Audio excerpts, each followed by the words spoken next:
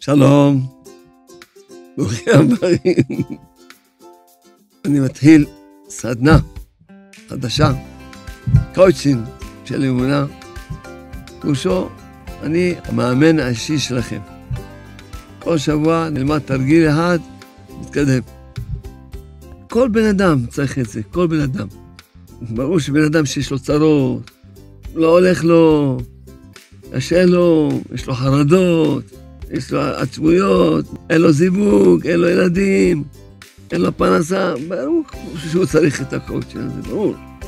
אבל גם אדם שממש יש לו חיים שלווים ושקטים, צריך את הקואוצ'ר הזה. למה? גם הוא יראה איך שהוא ישפר את החיים שלו. כי הדרגה של האדם, כמה שהוא מכיר את הבורא, זו הדרגה שלו, מכיר אותו יותר, דרגה יותר גבוהה. גם החיים שלו בעולם הזה, הכל לפי הדרגה, כמה הוא מכיר את הבורא. לכן, תנו חיוך, אני המאמן האישי שלכם.